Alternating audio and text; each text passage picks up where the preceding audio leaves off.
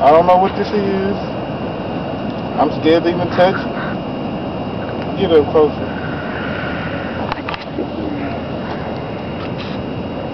Oh Lord, I'm scared to touch this thing.